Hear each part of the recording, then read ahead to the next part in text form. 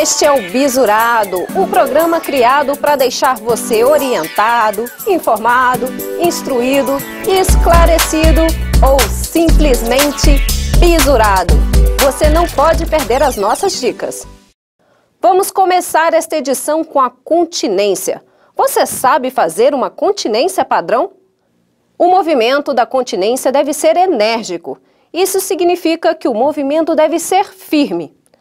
Ah, lembrando que a continência deve ser prestada com a mão direita. Nada de usar a mão esquerda, viu? Depois deste bizu, é só manter os dedos unidos e estendidos com a palma da mão voltada para o rosto. E o dedo indicador direito deve tocar, tangenciar a cobertura.